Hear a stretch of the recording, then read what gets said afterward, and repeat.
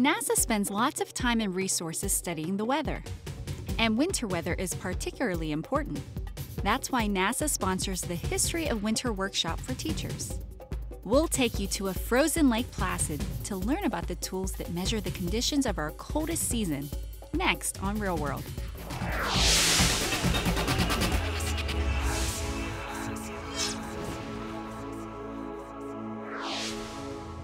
Winter conditions here on Earth are very important to NASA scientists and engineers. The agency's aeronautics mission relies on data gathered during the coldest part of the year. They use it to develop systems that will allow planes to fly better and safer in winter conditions.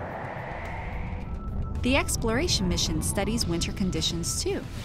Data related to harsh winter like conditions here gives scientists perspective about other places in the universe, like the Moon or Mars. Now that we're discovering and more closely ice on other planets, uh, it's important to understand the properties. Alan Lunsford is a NASA computer scientist and history of winter technologist. Not only of natural ice on Earth, but ice that forms in other conditions that you don't find on Earth. Higher pressures, lower pressures, different temperature regimes. So the same concepts that we learn here at HOW are the concepts that are used by scientists to study ice all over the solar system. Teachers come to Lake Placid, New York and become scientists for a week, rolling their sleeves up and taking a hands-on approach to understanding winter.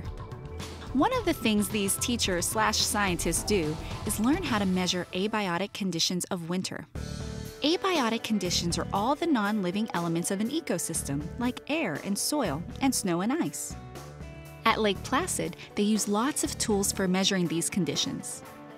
One of the simplest tools to measure ice is called a thermochron, and teachers at History of Winter get a lot of use out of this tool.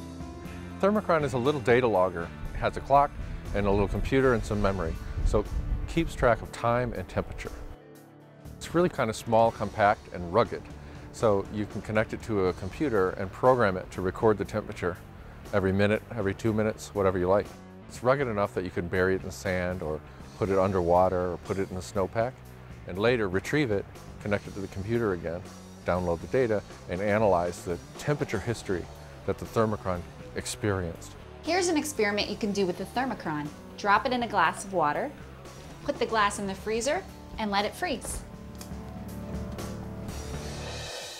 Then take it out of the freezer and let it melt. This is gonna take a little while. Once it's back to room temperature, pull the thermochron out and check the data on a computer. That's a great experiment to show them the concept of the latent heat, where it'll start warm and it'll come down to the freezing point of water, zero degrees, and then it'll stay zero for a long time as all the water in that cup freezes. And then once it's all frozen, only then does the ice start to get colder and it'll get as cold as a freezer. When you take it out of the freezer, it'll get warmer really quickly, right up to zero. And then it'll stay zero for a long time until all that ice is melted. And then it'll get room temperature. Those little areas there where it maintains that temperature, even though it's absorbing heat or releasing heat, is that, that latent heat concept. Another abiotic condition that scientists want to learn more about is snow. And there are lots of ways they measure snow at HOW.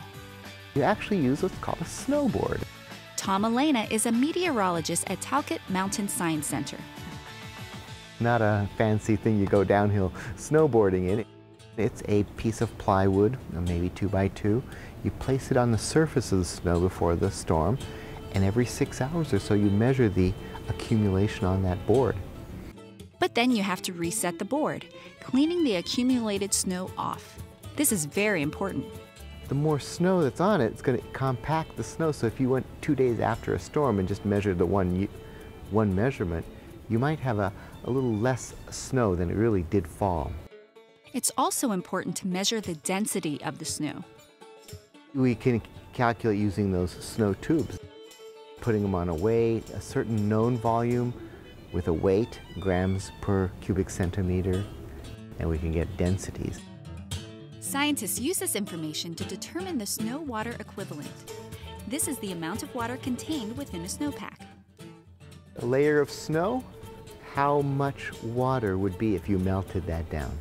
good start is 10 to 1. So 10 inches of snow would melt down to a one inch layer of water.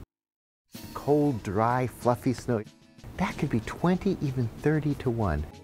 The very heavy stuff, sleet, is almost 2 to 1. And ice, of course, would be a 1 to 1.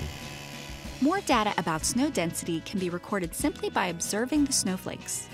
If they come out of the cloud base at that point, they are beautiful. They're like little glass sculptures. However, if they continue going through a lot of cloud, the cloud droplets stick to it. It's called riming. Those crystals tend to have a lower snow ratio. Moisture and temperature, very important variables in the cloud. There are a lot of very practical reasons to study snow density. It's very important in watershed resources.